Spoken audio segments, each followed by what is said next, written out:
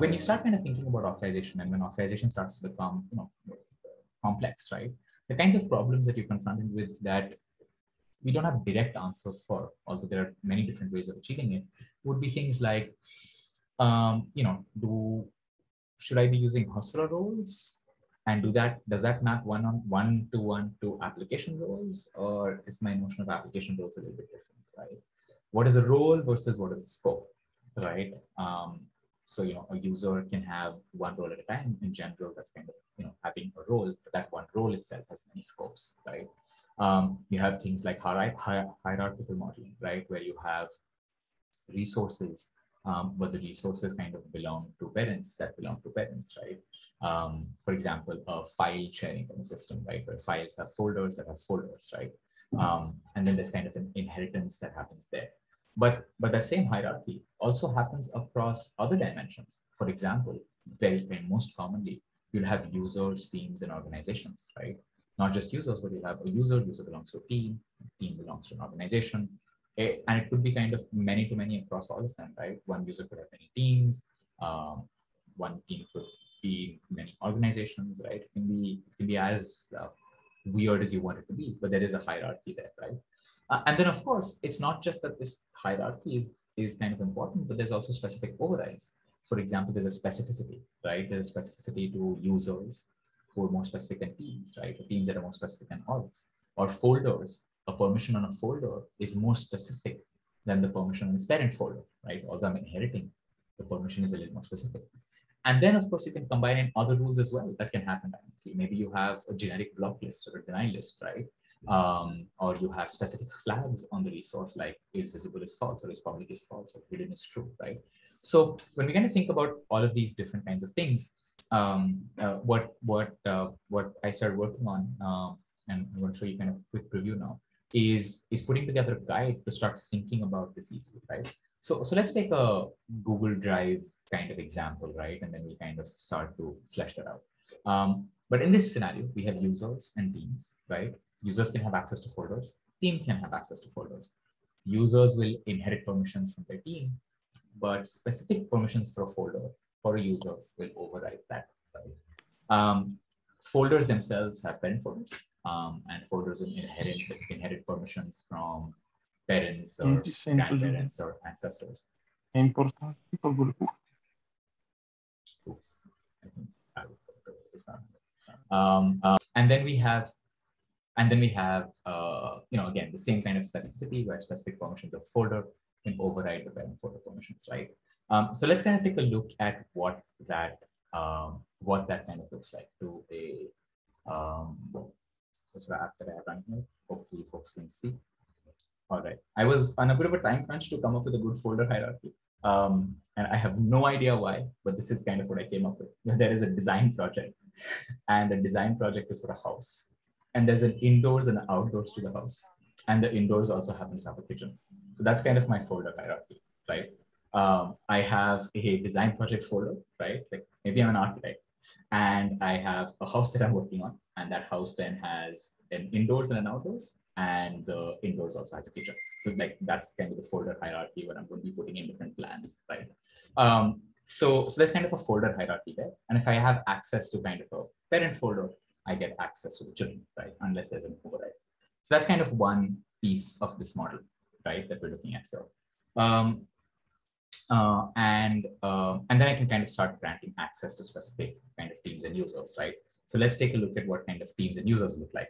Um, right. So um, we have teams, um, and so there are uh, there are multiple teams. Um, there are multiple users. Each user can have access to specific folders, but then there are also teams. Teams can also have access to folders um, and um, and then users belong to teams, right? So we have to have kind of modeling to capture that piece, right? Um, and then we'll assign specific permissions to people to see how that's kind of coming together.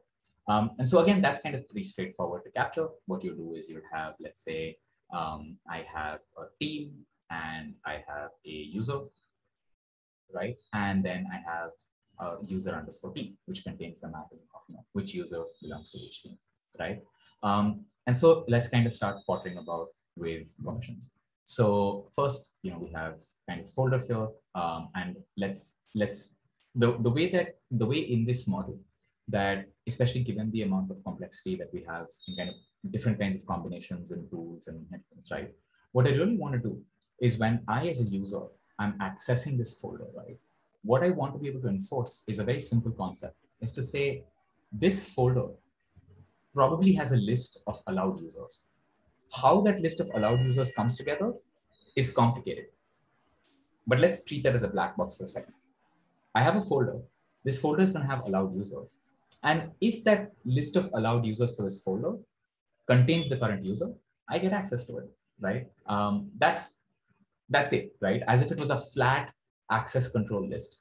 Right? There was an access control list somewhere that had folder ID, user ID, and I could just reference that, look that up, and enforce a permission, right? So that that's kind of the first thing that I want to do to kind of enable permissions on the on this folder model, right? Um, and so what I've done here is I've set up a permission for a user, right? Um, and and I've set up a relationship to a permissions table, which is kind of this access control list table, right? And this access control list table somehow contains the right users that can access particular folder. I don't know, we'll go into how that kind of system was created, but assuming that that system exists, this access control works, right? So just to kind of try that out in action and to see where this permissions table is, I'll show you where this permissions table is. This is kind of that access control list, right? This is not written by hand. This is computed from folder hierarchy and team hierarchy and user specific things. We'll ignore how it came together, but somehow it's come together and I have access to folders and users, right? So it says folder one is accessible by user one, so on and so forth, right? Um, so let's just go ahead and add in a quick example here to see what that looks like. So let's go to permission folder user. This contains the user specific permissions for a folder. So let's insert um, the outdoor thing. So let me see what the outdoor uh, folder is called. So that's folder number four. So let's give access to folder number four, right?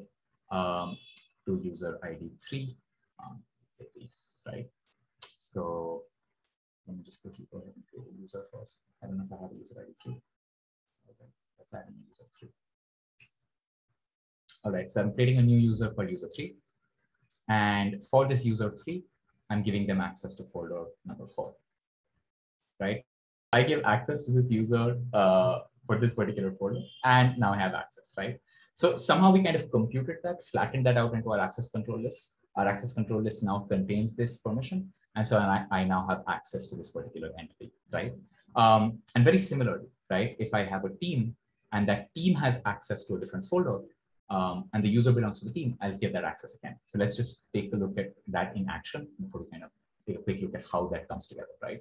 Um, so for example, I have a team and team two um, has access to folder three, right? Um, so that's kind of something that I've already set up. Team two has access to folder three. Just to take a look at what that looks like, um, let's go to the folder here and see what that really means. So team two has access to folder three. So that means team two is going to see the indoors folder, right? And indoors also has a kitchen. The kitchen is usually indoors. We have an outdoors kitchen. Um, and so I have an indoors kitchen here. And so if I if this team can access indoors, this team can also access kitchen. So let's go and enable that team for this particular user, right? Which is kind of what a typical collaborative action would be. So I kind of go in here and I say, well, user ID three, you belong team two and team two is my indoors team, right? Um, and so let's go ahead and check that out now. And you'll see that now I get access to outdoors, but also indoors and kitchen, right? I didn't give this user an access to both of these folders. I gave the user access just to the team. The team had access only to the parent folder. And because of that, everything kind of got computed, right? And then similarly overrides can be computed as well. So, so that's kind of the that's kind of the model. Um, I'll be writing up a kind of a detailed post on how this works, but the the kind of core of this idea is really simple. The core of the idea is that what we really want to do, right, is we want to get to a place where we want to have a flattened list that is somehow computed, right? We have a flattened list of folders, users, um, and access types, right? That are kind of kind of computed, right? Um, and so I can decide whether I have access to a particular resource or not. Uh, and what we do here is that we construct this using a view and that you can then kind of compose different pieces of this, right? Um, and so I won't go into too much detail here, but to kind of just show you the what this view looks like and what an example extension of this looks like is. So what this view does is that it kind of flattens the folder. So it looks at all of the ancestors um, and then adds up, coalesces those permissions. It also does a lookup on the user and team structure, coalesces those permissions, and then unions that, coalesces slash unions that into one piece that then gives us a very flat tuple. This folder ID, comma, this user ID, true, false, right? That's what we get. The nice thing about this structure is that it's super extensible. This style of thinking is really easy to extend. For example, suppose in the future, I had to add this really kind of weird, complicated feature, which is um, the folder can have a blacklist, right? Or can have a block list, and, and, and it can have like, uh, I can, some, some admin can go in and just say, this user, this folder, not allowed, right? I don't care what your hierarchy is. You're just kind of blocked from accessing this particular folder, right? Um, and so what I can do is easily extend that by capturing a folder ID by using something like an except, capturing for unioning that, adding it to the same view. I can add this other condition as well to say, if it's as long as it's also not in folder comma user from the block list, right? So I can have a block list table and then I can, and I can add that as well to my query to get the final result, right? So um, this pattern is pretty generic um, and um, I'll do a write up and we'll share kind of what that looks like. Uh, but this should kind of allow you to start to extend this in really kind of complicated hierarchical ways um, and can be as dynamic as you want it to be. You can add multiple levels, teams, users, orgs, whatever, right? And you can, can keep incrementally adding that as well. Um, so that is what this piece looks like. Um, and uh, once we have a write up, I'll share that with you folks. Uh, let me just see if there's any questions here. All right. Uh, cool. So that is what this piece uh, looks like. In the generic, the, the super kind of general pattern that emerges here is pretty is is pretty straightforward, right? The idea is to just say that you know I have models the model has a ACL table. The ACL table is not actually a table, it's computed. Um, and the permission rule is now really simple, right?